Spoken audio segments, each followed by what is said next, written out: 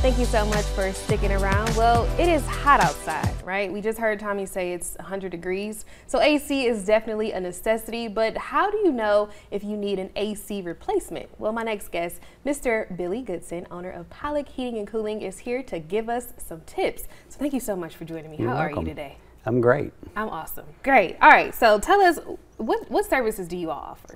Well, we do service and installation of residential and commercial, as well as inspections and uh, efficiency testing. Gotcha. Now, you know it's hot, so we all need our AC. So, but how do we know if we need an AC replacement? Well, in most cases, it's pretty obvious. Um, but I say that the best way to know is to have a certified technician come out and check it. Okay. Um, but you can look at your your bills historically. Of course, you can't look at the last couple of months and compare it to this month, but you could look at last June and this June, and if it's substantially higher, you'll know that there possibly is something going on with it. Gotcha. Now, I think this next question is like a running on debate um, as it relates to like the thermostat temperature. Is there a specific temperature that the thermostat is supposed to be at? I'm not getting in a fight about that, but uh, you know, our government recommends 78, but the reason they recommend that is because of the utility, the electricity Gotcha. usage. Okay. Um, it, I, I get the question all the time, and I, and I tell the customer it's a comfort issue. Mm. Whatever is comfortable to you. If you if you want to spend the money to run it at the colder temperature, you're going to pay the bill. Yeah. Um, the only thing I would say about that, though, is uh, a lot of people, especially when the weather's like this, when you leave the home, don't cut it off.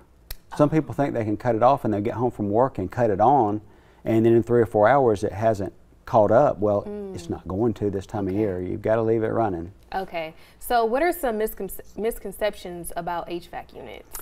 Uh, bigger is better is probably the, the biggest one I see. Okay. And and you'll run into it with uh, customers that have had a, a, a bought a new house, and the person that originally owned the house, when they replaced the unit, they enlarged it a half a ton, and now the new person wants to enlarge it half a ton, and then you've got a unit that's a ton too big for the house.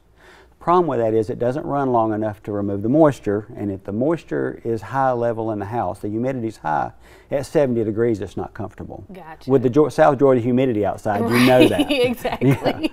So, I mean, how many years does an AC last usually? Uh, I think the last testing I saw, they said an average is 10 to 12 years. Um, Okay, okay. so, So that's that's pretty good lifespan. And most people would never consider owning a car for 10 or 12 years and not having it serviced. That's true. But people do that with the air conditioners all the time and That's expect true. them to just keep going. And that's why we have you. they really take a know. pounding this time of year, so anything you can do to help them out sure is good. Gotcha. All right. And so, what advice could you give us? Um, it you know it's hot outside. Mm-hmm. So, what advice could you give us as it relates to AC units? Well, number one, don't cut it off. If you need to cut it back a few degrees or cut it up a couple of degrees when you're gone, that's one thing, but do not cut it off. Keep your filters changed. Um, stopped up filters cause a lot of loss of efficiency.